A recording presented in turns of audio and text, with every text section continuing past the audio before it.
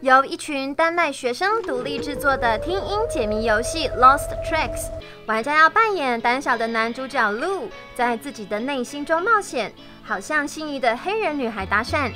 借由不断寻找声音的来源，玩家可以找出正确的机关来让故事推进。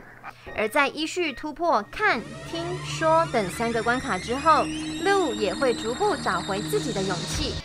为了方便听音辨位，游戏推荐玩家使用耳机来玩。到了后面，甚至还有运用麦克风的关卡，别出心裁的游玩方式，完全看不出是学生等级的作品哦。